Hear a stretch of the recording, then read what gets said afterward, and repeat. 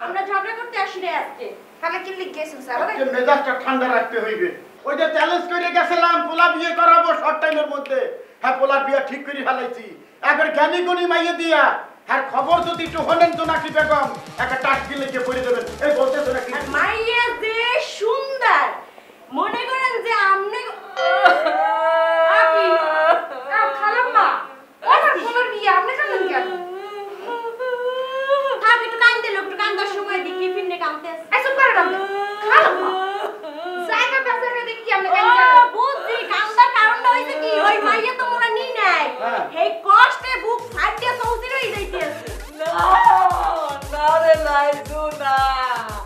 আমি কাঁদতেছি আরে খার মাইয়ার খবর করতেছে কোন মাইয়া রে?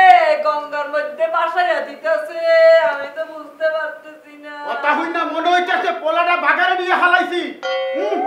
মাইয়া ঠিক করছি উচ্চ শিক্ষিত মাইয়া। এই এলাকায় দুই একটা পাওয়া যাবে না। এই আর কি? এত কিছুই না মুই তো চিন্তা করছি মুই পোলা বিয়া করে আইন না।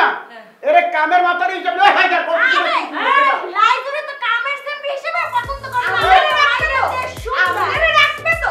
হ্যালেই হয়েছে। মোর ওই আমাদের ওই পোলা আর পোলার বউর ওইখানে যাই কাম করার কোনো ইচ্ছা নেই। আপনিই করেন। আপনিই আচ্ছা করেন। আমি একটা কথা বলব?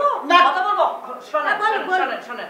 ওই যে যাকে বিয়ে করাবেন সে তো জনম দুঃখী হবে তার জন্য আমার এই জোনাকি বেগম হোম সার্ভিসের দরজা খোলা থাকবে সে যদি চাকরি চাই আমার এখানে আমি চাকরি দেবো বেশি বেতনও দেবো কোন মেয়ের জন্য খবর করতেছে আরে বাপ মা কীরকম হ্যাঁ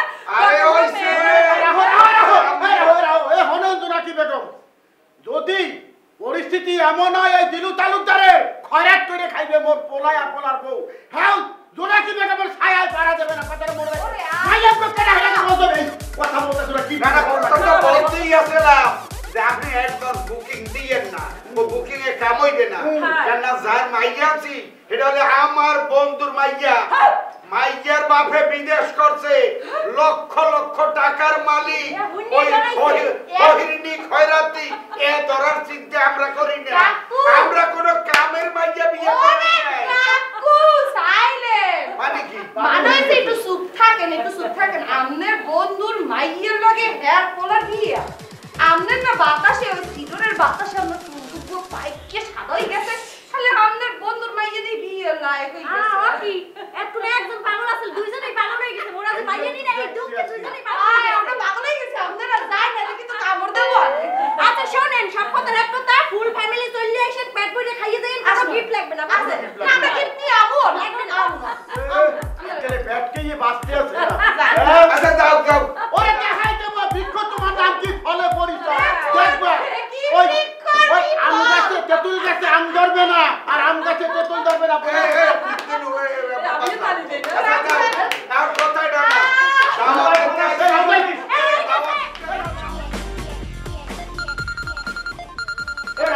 আমার হবু বিয়াইটা ফোন করছে। মোর হবু বিয়াই ফোন কাছে বেশ হ্যাঁ। এই হালা তো হালা এখানে কাবুয়েছি পালি কুমবে।